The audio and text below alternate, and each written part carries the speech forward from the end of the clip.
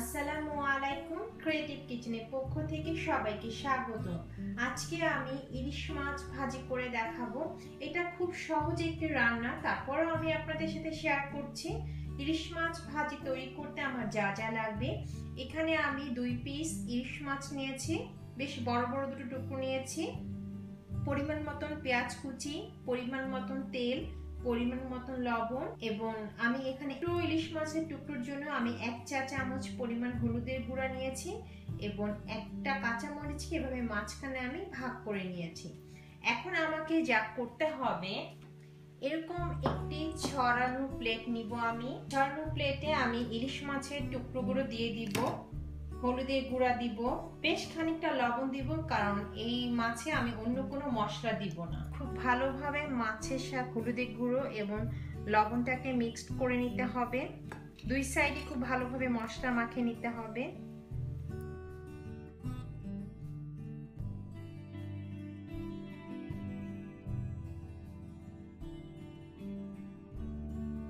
দুই সাইড মশলা মাখানো হয়ে গেলে আমি এখন এটাকে ভাজবো। চুলায় আমি প্যান দিয়েছি। প্যান গরম হওয়ার পরে অল্প একটু তেল দিব।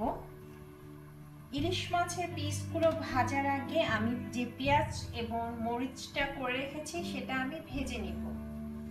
পেঁয়াজগুলো দিয়ে দিব। অল্প তেলে ভাজতে হবে। মরিচটা দিয়ে দিব। এবং পরিমাণ মতন লবণ দিব।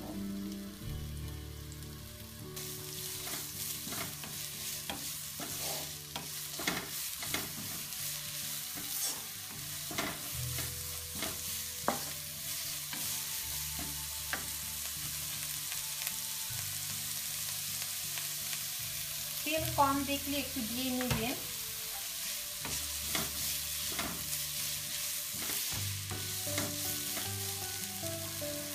পেঁয়াজটা ভাজার সময় চুলার আঁচটা একদম বাড়িয়ে দিবেন।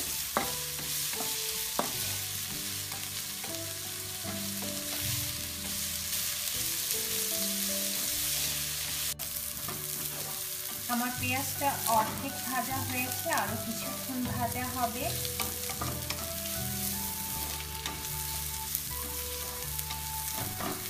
আমি এই পেঁয়াজটা যখন ইলিশ মাছ ভাজি করে পরিবেশনের পাত্রে রাখব, তখন উপরে দিয়ে দিব।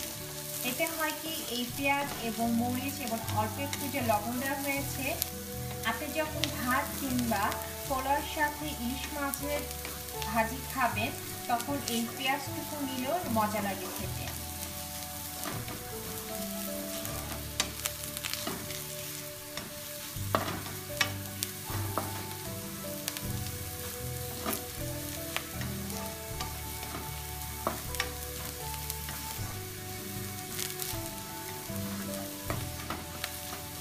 আমার পেঁয়াজ ভাজা হয়ে গিয়েছে, এখন আমি নামিয়ে ফেলব। আমি পেঁয়াজটুকু উঠে ফেলেছি, এখন বেশ খানিকটা তেল দেব। তাতে ইলিশ মাছের টুকরোগুলো যখন দিব, তার আগে চুলার আঁচটা, কারণ আমি এটাকে একেবারে মুচমুচ করে ভাজবো। তাতে কাটাগুলো আলাদাভাবে ফেলে দিতে হবে না কাটার সঙ্গে খাওয়া যায়। খুব অল্প আঁচে ইলিশ মাছগুলোকে ভাজতে হবে।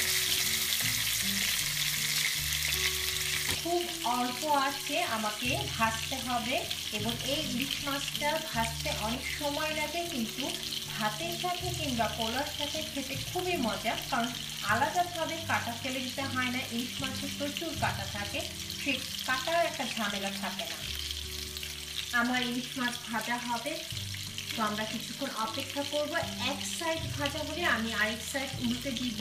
কিন্তু একদম ভাজা হলে নয়, অনেক সময় দেখা যায় এক সাইড বেশি ভাজা হয়ে গিয়েছে, আরেক সাইড কম ভাজা হয়ে গেছে তাই মাঝে মাঝে ইলিশ মাছগুলোকে এপিট ওপিট করে দিতে হবে।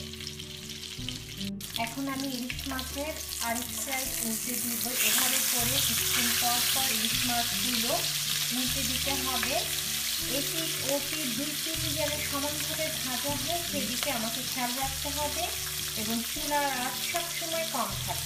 ইলিশ মাছ আমি আগেই বলেছি, ইলিশ মাছ ভাজতে বেশ সময় লাগে, যত সময় নিয়ে ইলিশ মাছ ভাজা হবে ততই খেতে মজা লাগে। আমার ইলিশ মাছ এখনও অনেক সময় ধরে ভাজা হবে। আমরা বেশ কিছুক্ষণ অপেক্ষা করব। আমার ইলিশ মাছ ভাজা হয়ে গিয়েছে, বেশ শক্ত হয়েছে, তো শক্ত হওয়া মানে হচ্ছে ভেতর দিকটাও ভেজে ভাজা হয়েছে, মুচমুচে হয়েছে। এখন আমি পরিবেশন করব।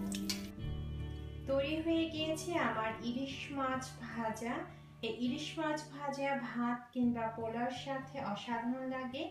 আর আমি যে পেঁয়াজটা, মরিচ এবং লবণ দিয়ে ভেজে নিয়েছি, অল্প একটু তেল দিয়ে, সেই পেঁয়াজ ভাজাটা, এই ইলিশ মাছ ভাজার সাথে খুবই ভালো লাগে। আর পহেলা বৈশাখের আমাদের একটি বিশেষ আইটেম হতে পারে ইলিশ মাছ ভাজা।